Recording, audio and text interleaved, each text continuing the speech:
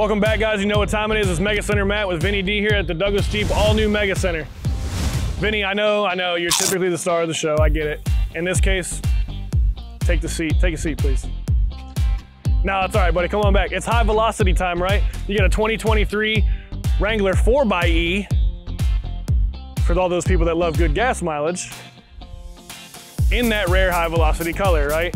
This thing's got the Willys package on here, okay? You get the nice decals, upgraded wheels and tires. One touch. This is what makes this a lot more special than some of the other Wranglers out here. This is a power top on this thing for when you go cruising the beach, Vinny, right? Look at that. Jacob's ready to go right now. Guys, you're only gonna find it at one place, one place only. The all new Mega Center. See ya.